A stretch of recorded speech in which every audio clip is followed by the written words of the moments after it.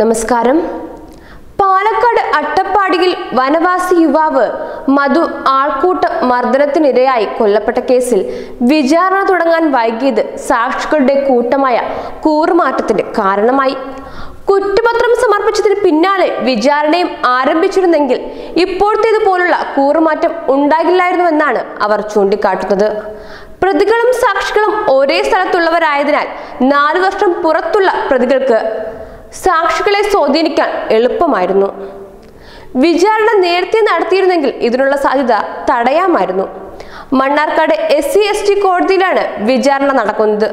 ഒന്നര വർഷത്തിനു ശേഷമാണ് കേസിന്റെ നടത്തിപ്പിനായി സർക്കാർ സ്പെഷ്യൽ പ്രോസിക്യൂട്ടറെ പോലും നിയമിക്കുന്നത്. ആദ്യം നിയമിക്കപ്പെട്ട സ്പെഷ്യൽ പ്രോസിക്യൂട്ടർ സ്ഥാനമൊഴിഞ്ഞു. രണ്ടായിരത്തി പത്തൊമ്പതിൽ വി ടി രഘുനാഥനെ സ്പെഷ്യൽ പ്രോസിക്യൂട്ടറായി നിയമിച്ചെങ്കിലും ഇദ്ദേഹം രാജിവെച്ചു. കേസിൽ പ്രോസിക്യൂട്ടർ ഹാജരാക്കാത്തതിൽ വിചാരണ കോടതി വിമർശിച്ചതിന് പിന്നാലെയാണ് ഹൈക്കോടതി അഭിഭാഷകനായ സി രാജേന്ദ്രനെ പ്രോസിക്യൂട്ടറായി നിയമിക്കുന്നത്.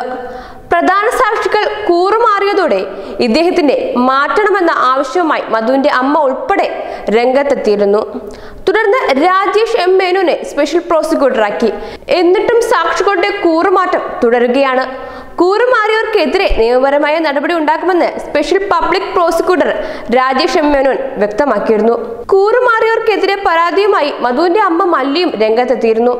പലരുടെയും സ്വാധീനത്തിന് വഴങ്ങിയാണ് സാക്ഷികൾ മൊഴി മാറ്റിയതെന്നും ഇക്കാര്യം അന്വേഷിക്കാൻ പോലീസിന് നിർദ്ദേശം നൽകണമെന്നും ആവശ്യപ്പെട്ട് മണ്ണാർക്കാട് മുനിസിപ്പൽ കോടതിയിൽ മല്ലി പരാതി നൽകി.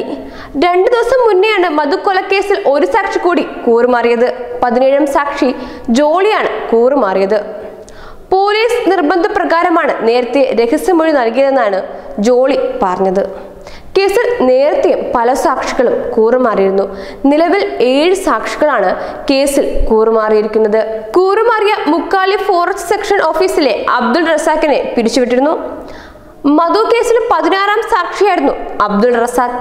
കേസിൽ കൂറുമാറിയ വനം വകുപ്പ് വാച്ചർ അനിൽകുമാറിനെ പിരിച്ചുവിട്ടിരുന്നു.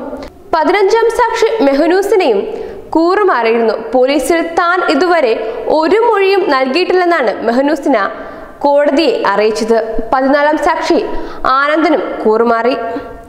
പ്രോസിക്യൂഷന്റെ വീഴ്ചയാണ് കൂറുമാറ്റങ്ങൾക്ക് ഇടയാകുന്നതെന്നാണ് മധുവിന്റെ കുടുംബം പറയുന്നത്. സ്പെഷ്യൽ പബ്ലിക് പ്രോസിക്യൂട്ടറെ മാറ്റണമെന്ന് ആവശ്യപ്പെട്ട് വിചാരണ കോടതിയെ സമീപിച്ചെങ്കിലും ഇക്കാര്യത്തിൽ സർക്കാരാണ് തീരുമാനമെടുക്കേണ്ടതെന്ന് കോടതി വ്യക്തമാക്കിയിരുന്നു. രണ്ടായിരത്തി പതിനെട്ട് ഫെബ്രുവരി ഇരുപത്തിരണ്ടിനാണ് ഒരു സംഘം അക്രമികൾ ചേർന്ന് മധുവിനെ തല്ലിക്കൊല്ലുന്നത്. ആ വർഷം അവസാനത്തോടെ കോടതിയിൽ കുറ്റപത്രം സമർപ്പിച്ചു. എന്നാൽ വിചാരണ ആരംഭിച്ചത് നാലു വർഷത്തിന് ശേഷം മാത്രം.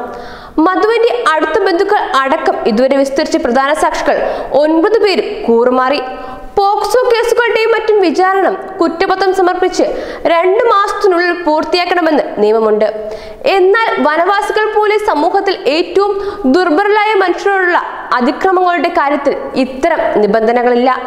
സാക്ഷികൾ അടക്കമുള്ളവരുടെ സംരക്ഷണം ഉറപ്പുവരുത്തുന്നതിനായി ആവിഷ്കരിച്ച വിക്ടിം റൈറ്റ് സെന്റർ പോലുള്ള സംവിധാനങ്ങളും ഇത്തരം കേസുകൾ ഫലം കാണുന്നില്ല.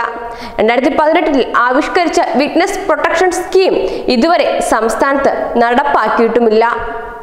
Web desk Tatwamayi news.